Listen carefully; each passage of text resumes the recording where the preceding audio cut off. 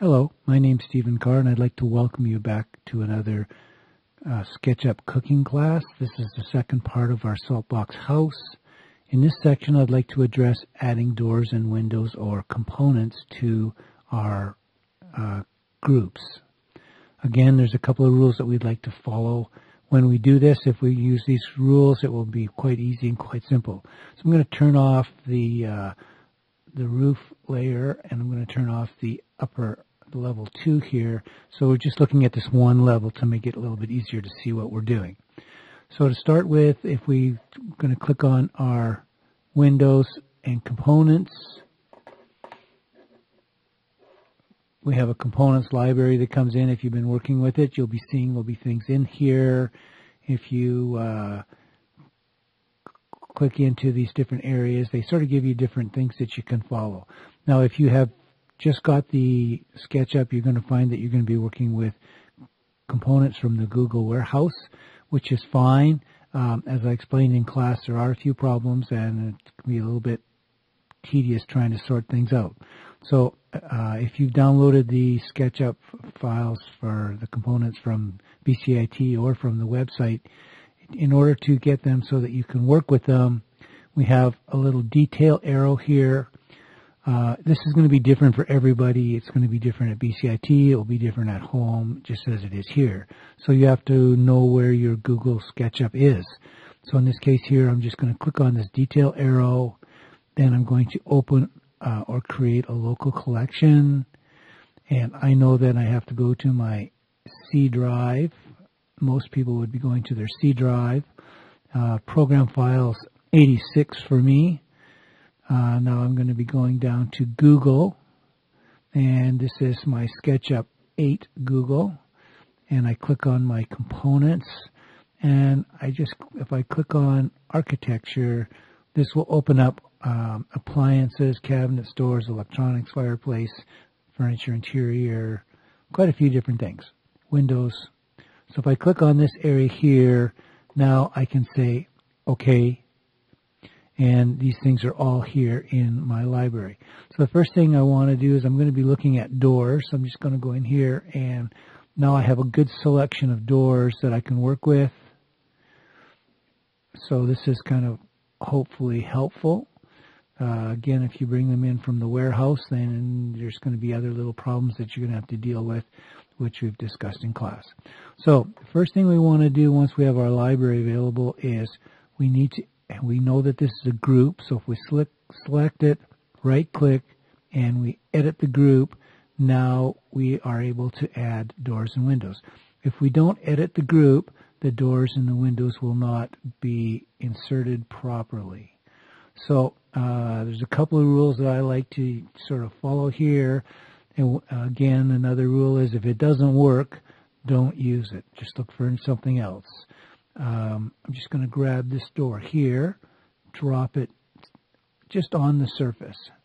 And you'll see that when I do that, if I just zoom in here, that this door actually has cut a hole in right into the wall. So if I click on the move, I'm going to try and move it down so that it just gets down to the face. If I try and move it so that it's flat on the face right away, it will flip over or do something else. Again, you can move these things around. If I grab on the midpoint here, I can try to take it to this construction line. So now we have a, our door located. So what I need to do here is um, I'll go out of the group again because I want to add a few more construction lines. Again, with the measuring tape tool, just click on an edge and I'm just going to come and click on the top of the door. So this means when I put windows in, the windows should line up. I'd also like to have my windows two feet off the edge, so I'll just grab here and come across two feet. And I will do the same on the other side. Grab this edge, come across two feet, and there is the corner for my window, a corner for my window. So go back, going back to my components again, if I'm going to put a component in this because it's a group, I need to right click, edit the group. Now I can go into here and I can click into architecture. Now I can come down to my windows on the bottom. And again, I've got a great selection of windows here. It doesn't matter whether the window is the correct size because we're going to look at scaling windows. So once I have a collection, um, I'll just try this window here, see what it looks like. It's looking not too bad. Put it here. Again, it cuts a hole very nicely for me. I can just move it across here until it's close. That's all we really need to do is make it close. Sometimes it's better to move down first and then up. And then that works out really, really well. Now I could bring in another window or I can just do a move, M for move, and then control for copy.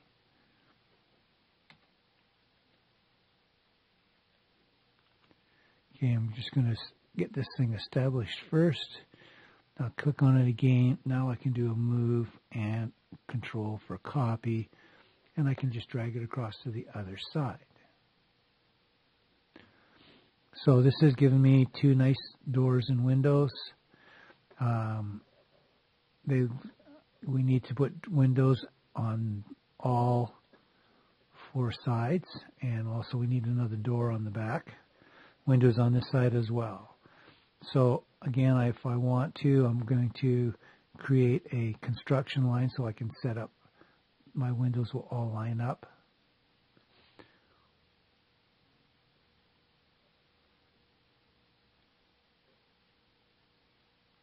Looks good. And if I go back into my components, I can find another window that I like.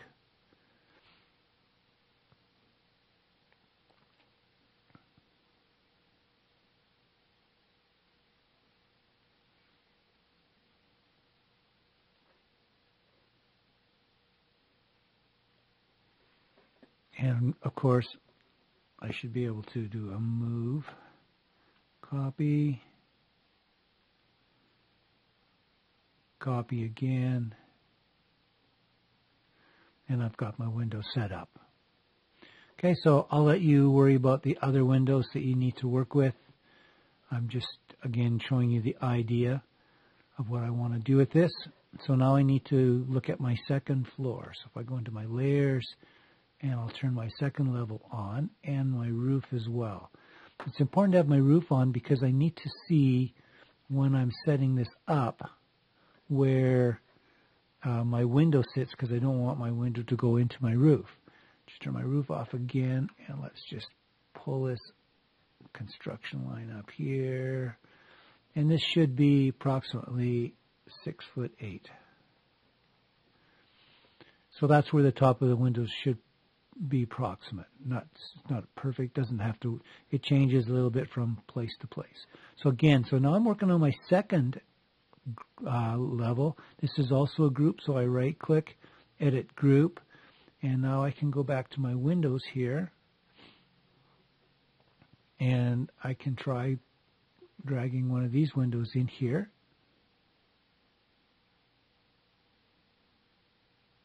And it seems to be doing good it's quite nice. So just move it again. Again, sometimes to move it a little bit is very hard, but to move it lots is, uh, you know, can be a little bit more difficult. So I have a little bit of an option here. I'm looking at this. I'm not really totally happy with it.